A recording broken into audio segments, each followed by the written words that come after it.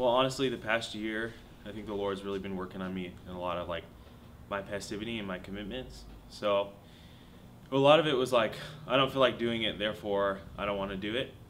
And so during the the um, the freedom immersion, I feel like the Lord was kind of just pressing that on my heart. One of the material things was talking about um, like half-hearted commitments, just like starting a commitment and then not following through with it. And I feel like the last year the Lord has really refined me a lot in that. Just like, no, you don't feel like doing it, but I want you to press in anyways. Um, so I feel like the Lord is teaching me how to walk in opposite of how I feel and to walk in truth. That I'm a man of steadfastness and, and endurance and patience. I think that's kind of what the Lord's been teaching me. Like I can be a firm rock, you know, in the midst of storms.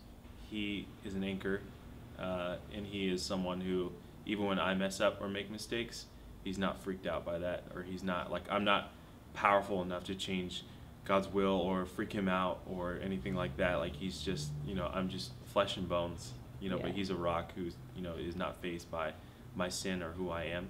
So he's just ready. He's able to be steadfast and committed to me through the process.